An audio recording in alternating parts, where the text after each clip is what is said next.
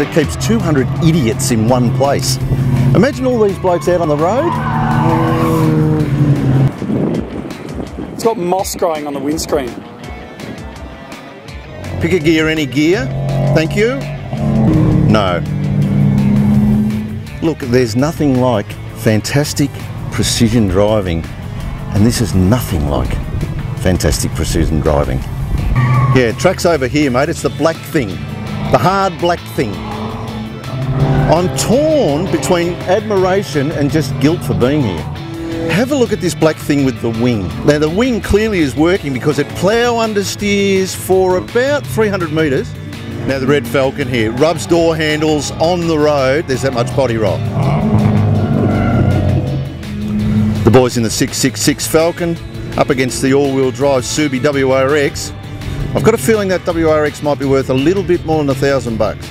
Now there is a racer amongst them. The bloke in this Swift, have a little look at this. Very tidy, not hurting the car, but very swift. like what I did there. Uh, and uh, I wouldn't be surprised if he's in amongst the hardware at the end of things. Anything could happen. Hold on, everybody, because he has not got a clue. Very tidy. Now, something should happen here. We've stood here for eight minutes and there hasn't been a crash. Look how safe the Apex is here with our friend number 36. Have a look at the Apex. You could stand there, you could have your lunch there. Oh, here we go. What could go wrong here?